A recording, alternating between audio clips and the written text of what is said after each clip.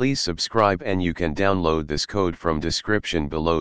In this tutorial, we will explore how to generate a tone sweep using an array of frequencies in Python. A tone sweep, also known as a frequency sweep, is a gradual change in frequency over time.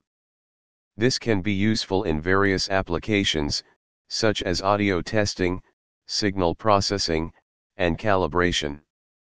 We will use the NumPy library to create the array of frequencies and the SciPy library to generate the tone sweep. If you don't have these libraries installed, you can install them using. Now, let's create a Python script to generate a tone sweep from an array of frequencies. This script defines three functions. Generate underscore tone underscore sweep, generates a tone sweep from a starting frequency to an ending frequency over a specified duration. Save underscore wav, saves an audio signal as a WAV file. Plot underscore waveform, plots the waveform of an audio signal. The example usage at the end of the script generates a tone sweep from 100 Hz to 1000 Hz over 5 seconds, saves it as a WAV file, and plots its waveform.